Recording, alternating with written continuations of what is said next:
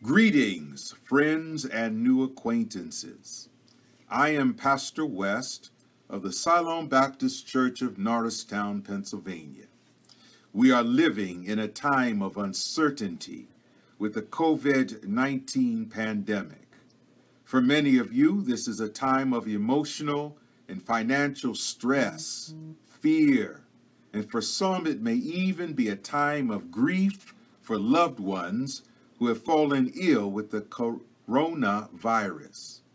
As a result, many young people have experienced depression, anxiety, and the self isolation that can cause one to feel lonely.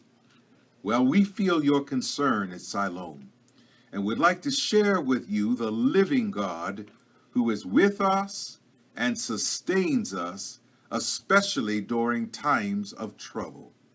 If you are seeking some guidance and encouragement to help you navigate through the days ahead, please join our virtual service on Siloam Baptist Church's Facebook page on Sunday, April 12th at 1030. You will hear a word of hope and healing for tomorrow. Please invite your family and friends to join as well. I look forward to meeting you next week. God bless.